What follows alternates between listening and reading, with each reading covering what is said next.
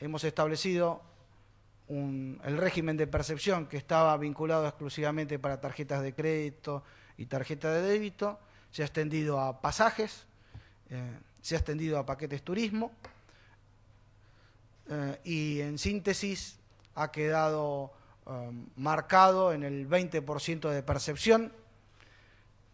No es un impuesto, es una esterilización patrimonial de capacidad que tienen los contribuyentes que eh, a la FIB le permite tomarlo a cuenta de impuesto a las ganancias, de bienes personales anticipadamente, al ser declaraciones que tienen cierre y exteriorización anual.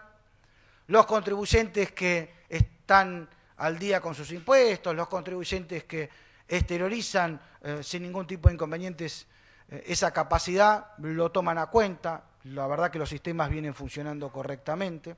Las medidas que se toman tienen también un origen bastante conflictivo.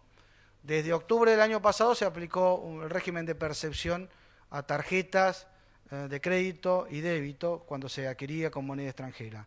Mm, de octubre hasta la fecha hemos estado advirtiendo que algunas, no todas, algunas agencias de turismo, con algunas financieras, casas de cambio, no todas, eh, que son utilizadas como fugadólares, requerían eh, compras de paquetes adelantados de turismo, debería crecer casi el viaje al exterior en la Argentina tres o cuatro veces de lo que está hoy.